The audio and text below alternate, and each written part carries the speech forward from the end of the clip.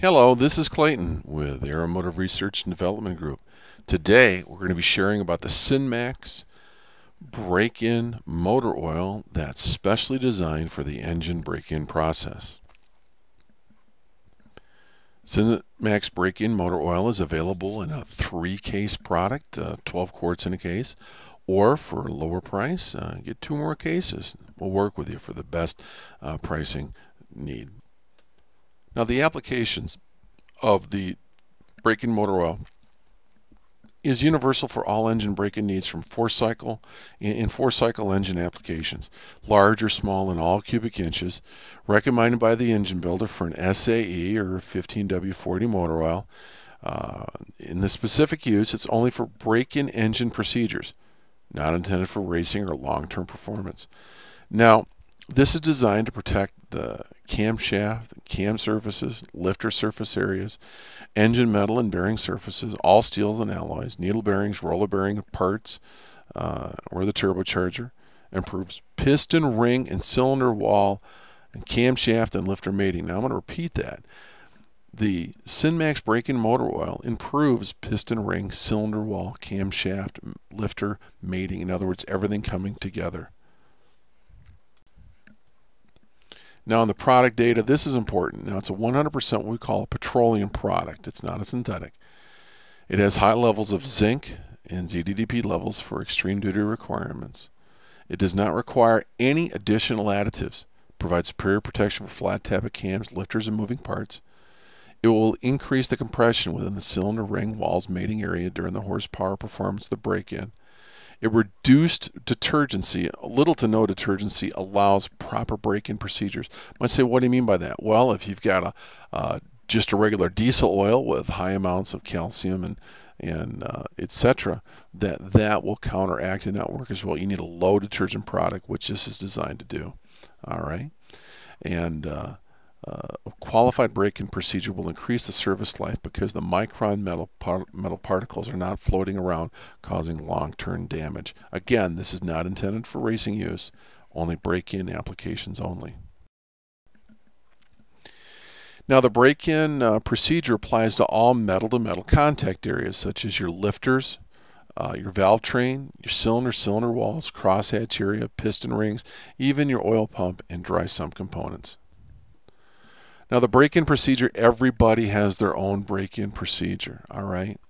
But the key here is to have matching components by leveling the peaks and valleys of the surface areas.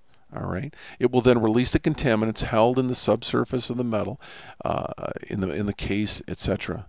The break-in procedure happens through heat, friction, and cool down cycles.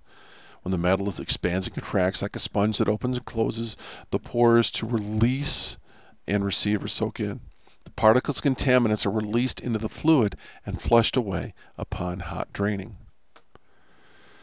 Now for vax, maximum benefit, you really need to preheat the oil to 150 degrees Fahrenheit. If not possible, then use caution during the warm-up period.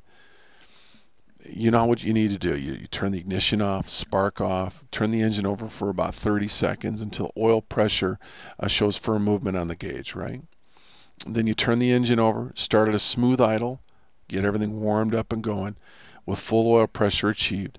And then what we suggest is you get it up to about 1500 RPMs, all right, and just leave it there for like 20 minutes or 30 minutes, all right. You have to keep the the oil pressure full at the whole time, not to allow the combustion chamber to load up.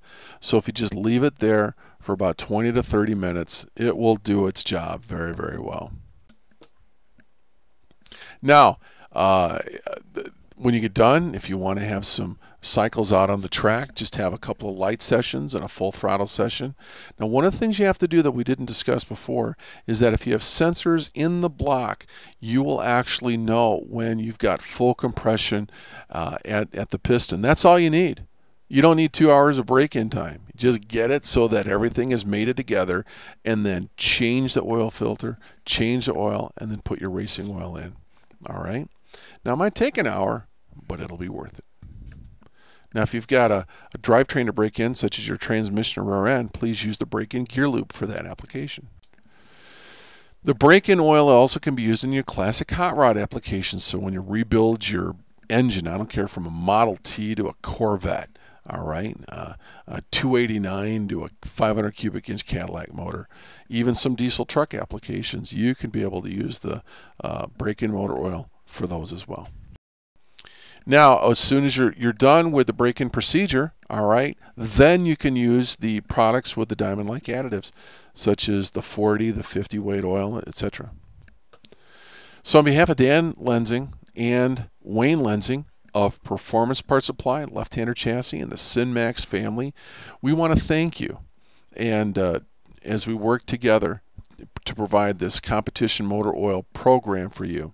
Should you desire to purchase the products, contact us at www.synmaxoil.com. Give us a call at 815-389-9999. And if you have any specific technical questions, send us an email at office at aeromotiveresearch.com. Thank you, and we'll see you at our next presentation.